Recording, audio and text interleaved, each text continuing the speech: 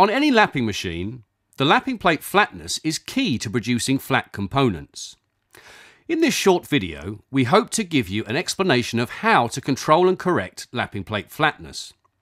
A lapping plate will usually wear convex or concave. Most lapping machines will use control rings to control plate flatness. These run against yokes which can be moved inwards or outwards to bias the wear rate of the plate.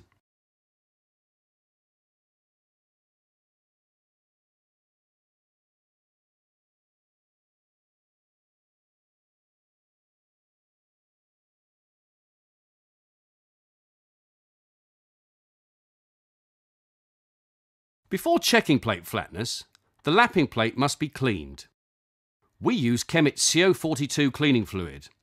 The plate must be completely clean or the gauge readings will not give a true indication of plate shape.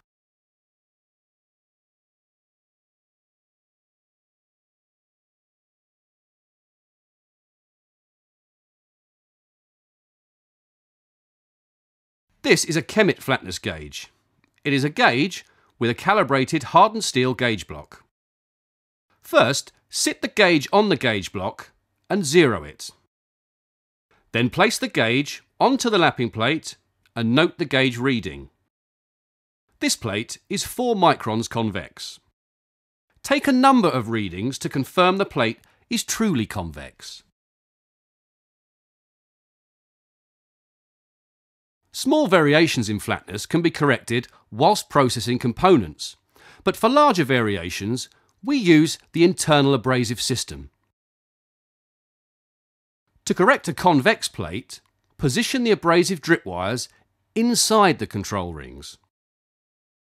Select the conventional abrasive system on the abrasive selector switch on the machine's control panel. The conventional abrasive pump and tank are situated inside the left rear corner of the Kemet machine. This must be filled with Kemox 0400S abrasive slurry. Because our plate is convex, we position the rings towards the centre of the lapping plate. This will bias the wear rate at the centre, thus flattening the plate. Set the timer for 15 minutes. Start the machine and ensure slurry is dripping from each slurry feed.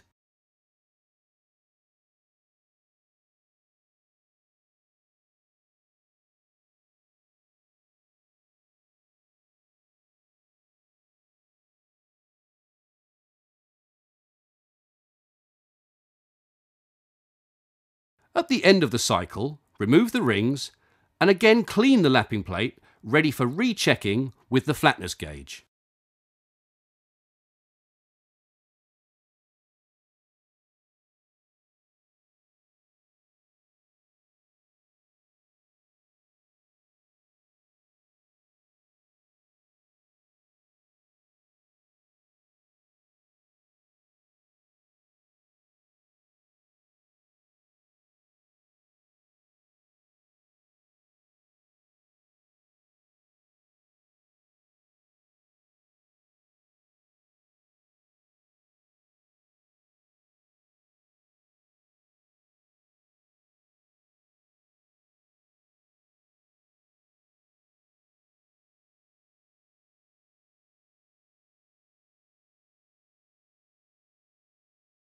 The gauge now shows the plate is flat.